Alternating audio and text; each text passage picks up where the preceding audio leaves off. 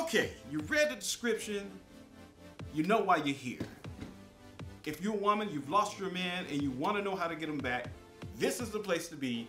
This is where you find out how to do it. But before we address that, there are some other things we have to address. Before I tell you how, there's some other things we need to address. First of all, number one, you need to know your self worth. Do you know your self worth? Do you know your value? Do you feel like that you're a gift to this man that you're trying to get back? And is, is he even worth it? We'll get to that later.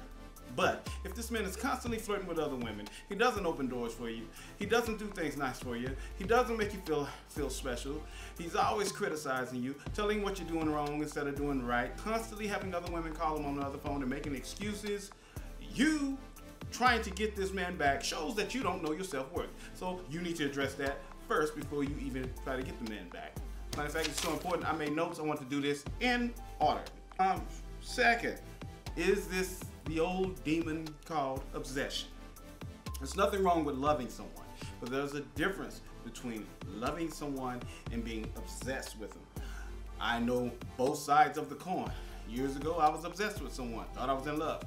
I've been obsessed over. I had a stalker. That was uh, very scary. That's a spiritual thing. That means you're in spiritual bondage. How do you know? If this man has treated you like trash and cheated on you multiple times and you're yet trying to get him back, find yourself apologizing when he has hurt you, done you wrong, cheated on you, and you're trying to get him back. If you find yourself being disrespected, down, degraded, and basically treated like a side chick, and you're trying to get him back, you are obsessed. You find yourself going through his phone, trying to read his emails, trying to read his notes because you think something is wrong. Usually, when you think something is wrong and you think somebody may be cheating on you, they are. So, if you're dealing with that, you need release from that bondage as well. Make sure this is not God blessing you in disguise. Sometimes God will allow somebody to leave you so he can bring the person he chose for you to brighten your day and bless you in a way you never thought possible. How do you know? Is this a godly man? Does this man care about you? Does he care about God? Does he treat your kids special? All these things wrapped up point to whether or not this is your blessing. And sometimes you are not the one for him, and he's not the one for you. And do you find yourself constantly feeling like, That's your subconscious. God speaks to you spiritually all the time through your subconscious. If you find this nagging feeling and you feel it in your gut that maybe he's not the one, he's not the one. When you find the one, you will know it. You will not have to guess about it.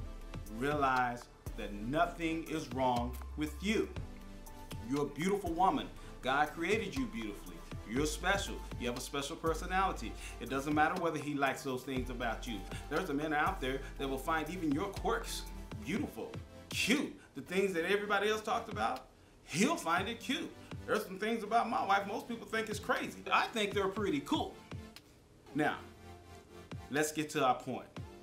How do you get your man back? If you've been chasing after this man, calling this man, trying to get him back, trying to convince him you should be together, constantly going after and after and after and after and after him, you are in the best position you could ever be to get him back. I hope he's worth it, and I hope he's due all this attention that you've been giving him. The hardest thing there is to do is the easiest thing to get your man back. Nothing.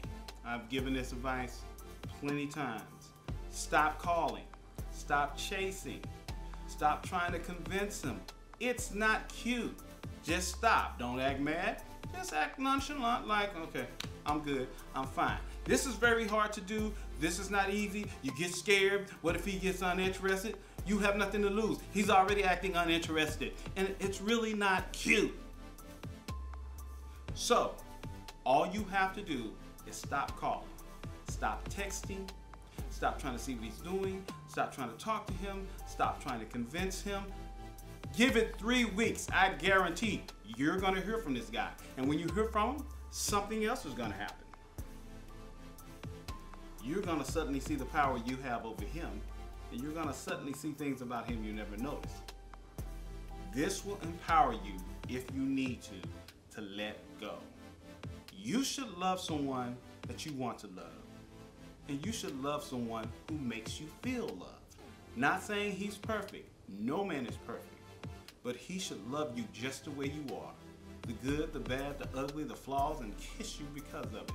These are the things that made you both fall in love, if, if that's what it is. Now understand, just because this man comes back to you after you've done what I've told you to do, does not mean he loves you. It simply usually means he wants what he can't have. That's it, in a nutshell. Simple. If you want somebody back, if you really want them back, set them free. They'll come back to you if it's meant to be.